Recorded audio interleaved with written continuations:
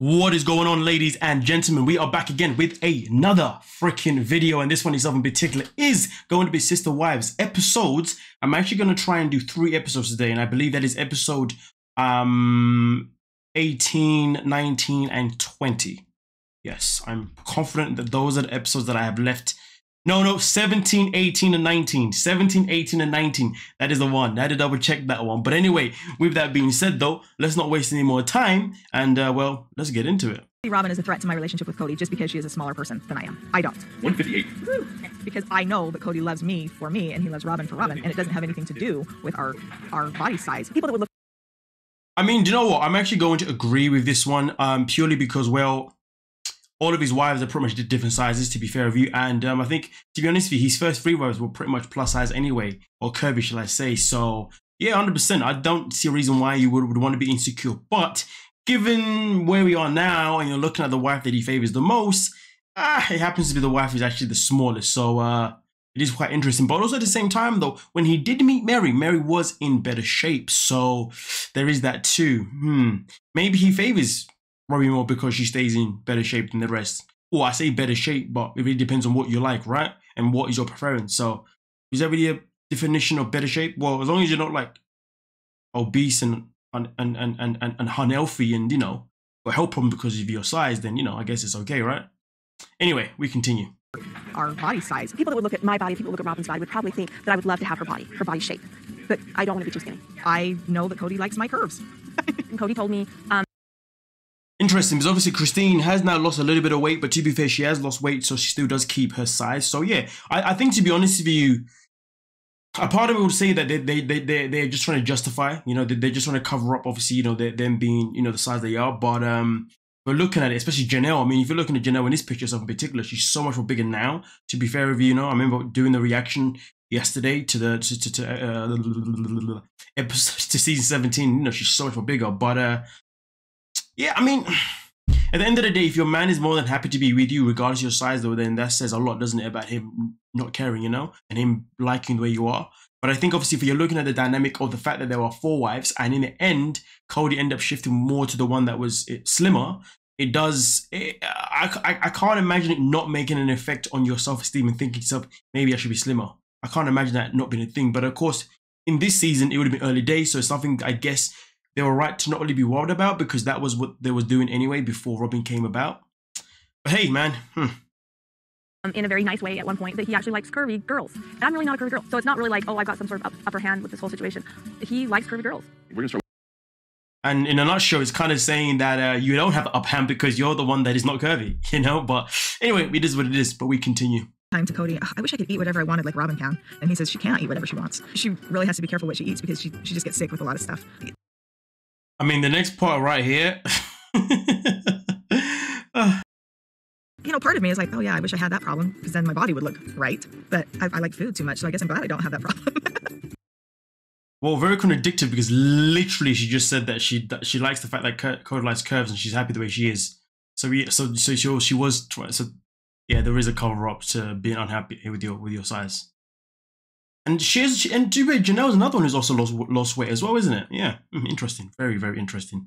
I can tell this website is this website this episode is all about weight, pretty much in a nutshell. Um, there's a little bit more. I would rather enjoy food, every bite that I eat. I would rather enjoy and savor that food. I would personally rather have Robyn's problem. Not have to worry about the prejudice and the stereotype that come along with being a larger person. That would be worth it. Absolutely, hands down. Yeah, I mean, yeah, you, you having the problem that Robyn has isn't actually a good thing. That must be a very frustrating thing for Robyn. It's better to just, if you really care that much about your weight, which they don't, they they- well, Janelle doesn't because she's still, um, she's bigger than now than she was then as well. Shows me that you just refusing to have the mindset to want to do better. But hey, man, I ain't really looking to make um sister wives become a whole freaking my thousand pound sister type or uh, my six hundred pound life type stuff, you know. but anyway, man, let's continue. Unhappy here, a lot of us. When we're unhappy, we tend to butt heads faster. We tend to be irritated and more edgy. We fight more. I mean, listen, man, it's a damn shame that the kids are going through the emotions, you know, and um, it's hard, you know. But to be fair, I think I say it's hard. For me, it was easy because I was moving all the time. To be honest with you, you know, so for me, moving is easy as one, two, three. But you know, I can I can completely get it, you know. And obviously, as teenagers, you're going through so much so much change within your body, your mindset, everything. So it's it's it's it's it's, it's always bound to happen. You know what I mean? By the way, this is actually now the X episode. Uh, this is now episode 18 because obviously the first one was 17. Um, and obviously 17 was literally just about there comparing the bodies and stuff. But yeah. but now obviously when when episode 18, yes, just so you know. But anyway, let's continue. Someone over there putting on makeup. The good and right thing doesn't matter what everybody else is doing. Get up and do the good and right thing. If you want, you can go put on some makeup. Take up your time. Yeah, if you want everything to be equal, then go put on some makeup. Hunter's been going through the emotions for the longest time possible. And like, like, bro, like, like, come on, man, like. Hunter is a raging testosterone monster. He just has this attitude of my parents are stupid and I am God. Or maybe they should I mean, yeah, I mean, Hunter just needs to get over the fact that they moved and just stop being a little baby about it. Come on, man, like. just drop the lazy bullets. You know what? Listen to me. You are talking about the adults. You better never speak disrespectful like that again. It won't be. It won't I was be talking about. You better watch it. You have to. You need to respect adults. There's been some issues Tell him, tell him, tell him, Mama Janelle. Tell him he needs to behave himself. Ah, what's wrong with this kid, man? Come on. Going on with him accepting Robyn. I think in Hunter's mind, he's looking at me and he's saying, You're not my mom. You're not my dad's wife. And this came out of nowhere because, as far as I was concerned, it was kind of like we were just all trying to blend our families and everything. And then I think as adults, we're just sitting here sort of like, What do we do with this? Why don't you That is a very sticky situation and it's a very hard one to know what to do. But I tell you what, though, man, listen, I come from a world, society, a, a generation where what the parents say goes. If the parents say that this is now your new mummy, then she's now your new mummy. You don't need to like her, but you're going to respect her. And that is not an option. And if you carry on, you know where the door is. See you later. You get up and do what's right? Get up Well, and do what's right, so they don't have to do what's right. You do what's right regardless of what everybody else is doing. So why don't you get up and move the chairs into the trailer? They really do try to lecture us, but it never really works. They think that we're like Man said they do try and lecture us, but it never really works. God damn. disrespectful and stuff. Because you are. Thank you for yelling. Think about it. You are. How so? How so? How so? Mom, what are you The fact that he's now creating a drift even with the kids themselves and particularly his siblings, ain't cool, man. Like he needs to do better. gonna do? What are you gonna do, mom? What are you gonna do? You gonna ground me? What? Yeah, oh, you're yeah, taking away my phone? Oh, mom. yeah, Okay, dude, I don't care. That is disrespect. Settle down, Johnny Appleseed. That that was pure Kody Brown right there. Let me go back a little bit on this one. That was pure disrespect. Pure Kody Brown. Okay, dude, I don't care. That is disrespect. Even the way he delivered it. Settle down, Johnny Appleseed. Hunter just been pestering me so much about going fishing. Driver's fishing, getting suburban. I couldn't take it anymore. I was at my breaking point, so we left first. I mean, listen, man. Sometimes you gotta do what you gotta do, man, just to get the kid just to shut up or whatever. Mm. Here, bring that blue folding. Let's set you up with. You know, Dayton, Aurora, and I, and Breanna haven't had a lot of time to hang out. We don't have a lot of things in common. My children are a little bit different age. We get together as a family, but the one-on-one time we haven't really had that much time with. So it was kind of fun to have this one piece where they do kind Man, most definitely. When once you can get that moment where you can have that peace, you can do things with your kids and whatnot. That's always golden. And you, those are the moments that you should cherish no matter what. of cross, and so I think we'll be fishing more. The rest of us went on a little hike near Big Bear Lake. Well, the good thing is at least it was they were able to divide and do different different things, you know, and it's it still be okay. So I guess that's the benefits of having more than one. Well, the benefits of having more than two parents, shall I say? You know, some kids can go this way, some kids can go that way, some kids can go that way, some kids can go that way. Yeah, obviously this way, which is two different directions, of course. But yeah, you, you get you get the gift. If Dayton, Aurora, and Breanna don't feel like they're a part of this family, they can choose at a certain age to not be with me anymore. They could so sad, man. So sad that you know, obviously, when a parent has to go through the possibility that their children may not want to, you know, they may favor daddy over mummy or mummy over daddy, whichever way it could be. It that's got to be one of the most challenging things for any parent to have to go through, to have to listen to, to have to bear, or anything like that, man. Like, goddamn. tough times, tough freaking times. Goddamn. Um, yeah. To choose to live with their biological father. I have a year and a half till Dayton is 13 to cement these families together and have him feel like this is his family. I mean, listen. End of the day, this is the challenges of being a uh, of being separated from the biological parents or the, the biological dad or whatever it could be. You know what I'm saying? Obviously, I guess I'll find out in one season or what not to see what he obviously what obviously he does. So I don't think I don't think I saw him in this season. To be fair, but to be fair, I won't I won't lie. I'm very bad with the names of the kids. I I bet you know I I I just about know about two or three of them. To be honest with you, there's so many of them. I it's a myth to me. so maybe he wasn't the most recent.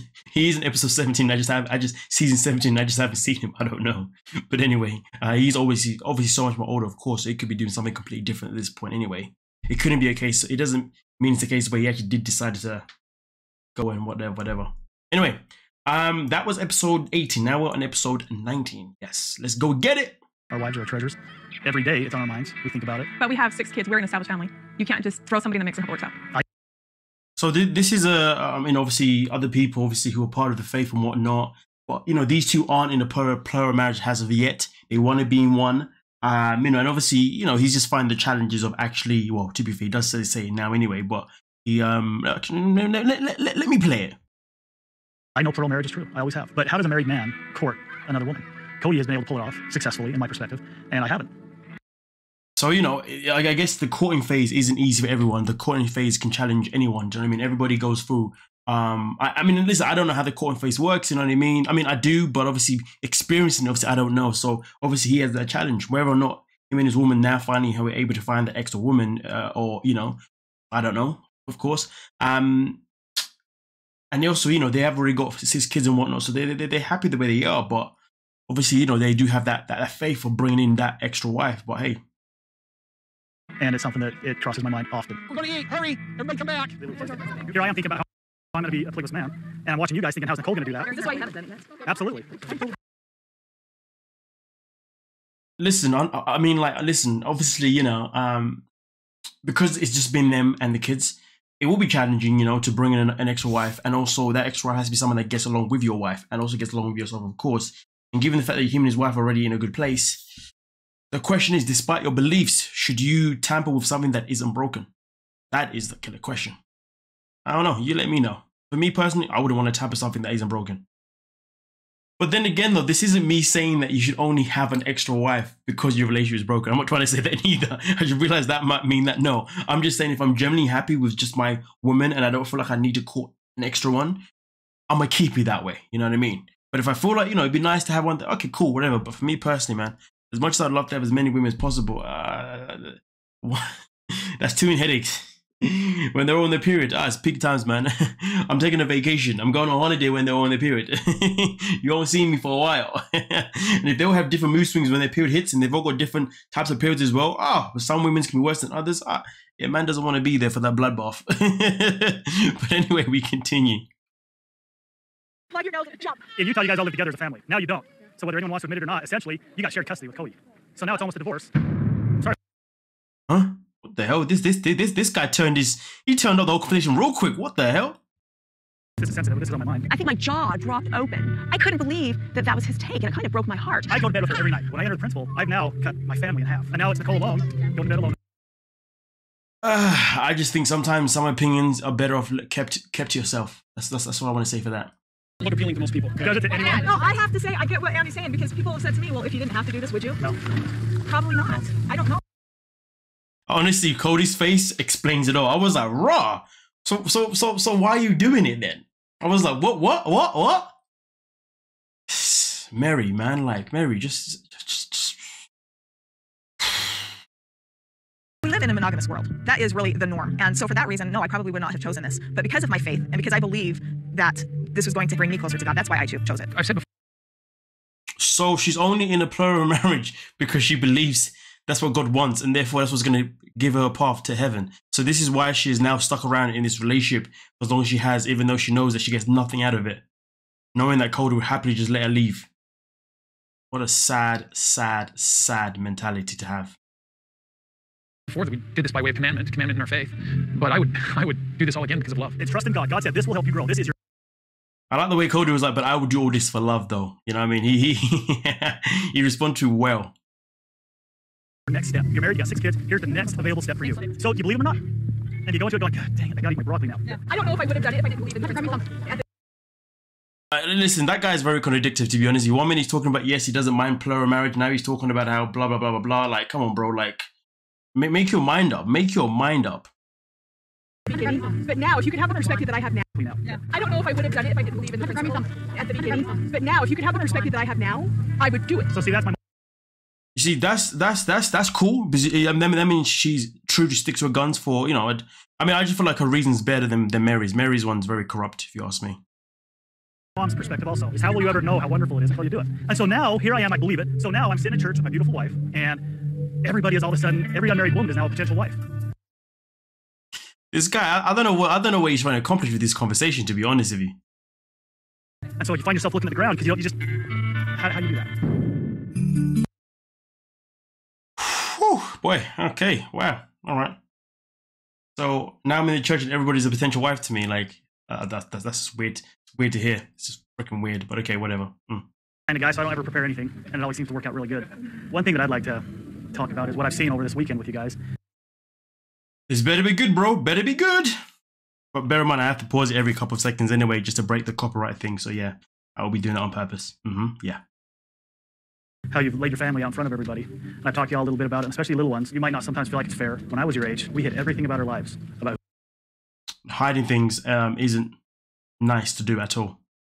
who we were. Even our neighbors didn't know. And that was hard. And when you have an environment where everybody's hiding things, that lets evil flourishes in that. When Dan, Well, I like that, man. Evil flourishes in it or something like that. Okay, that's nice. Daniel was told he couldn't pray, or else they would be killed, thrown in the lion's den. Did he go and hide in a corner? He did. He threw his windows open and prayed, and he let everybody see him do it. Nice, nice. I have nothing to add right now. I'm just saying nice. A goddamn BS, man. BCITH.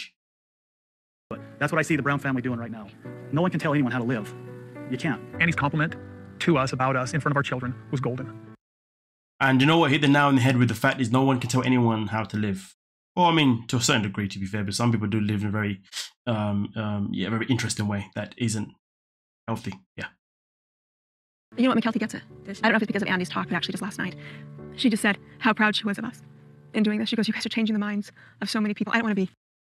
But listen, but listen, Mykelti's always been smart. I mean, look at her now. Now, you know what I mean? Intelligent girl. But yeah, let's continue. Not having Andy with me every night, or my kids, morally, my kids, for them not to be around their dad all the time. It's hard. It's hard to think of going to bed at night without Andy being there. The Andy And this is what I'm saying. They've been together, you know, for for, so- for so long. There were six, six, six kids together. Bringing someone in would change the dynamic, and probably for the worse, if you ask me. But it really depends on the people that are involved. And based on what she's saying, it would definitely make things for the worst. is at her house. But we've talked about this, and we know this is what we're supposed to be doing. It's not for everybody. It's it's just what Andy and I feel like is for our family. This is just where I want to be. This is my comfort zone. We're sacrificing our relationship for this, but it's worth. So there is no plans for Flora. Then, basically, in a nutshell, they're just gonna keep it the way it is. That's, that's, respectful, man. And I mean, as long as they both on the same page, respectful stuff. Yeah. hmm Nicole doesn't know what the benefits of plural marriage are is because she hasn't lived it. You're not going to know those benefits fully until you actually live it. At me.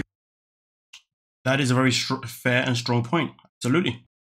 Dummies, even you can understand. We need that, they need that. When you enter the principle of plural marriage, it's something that you almost have to just jump in both feet.